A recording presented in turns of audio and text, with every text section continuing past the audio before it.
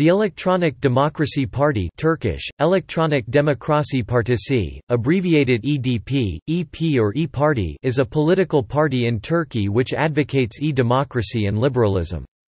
It was formed by Emrehan Halıcı, a member of parliament from Ankara, on 26 November 2014. Halıcı had previously resigned from the Republican People's Party CHP. The party highlights the democratic deficit and the lack of inter-party democracy as key areas of concern.